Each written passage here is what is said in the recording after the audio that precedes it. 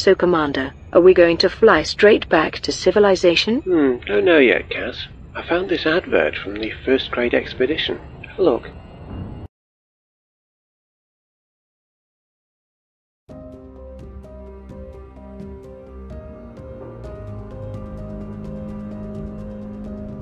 As a young explorer, I thought I'd seen it all.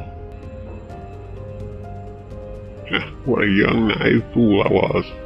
The galaxy is so big you can cross it a hundred times and not step in your own footprints twice. There are plenty more footsteps to be made out there in space. Why not make some of them yours? Join the Sagittarius Carina mission and leave your footsteps in history.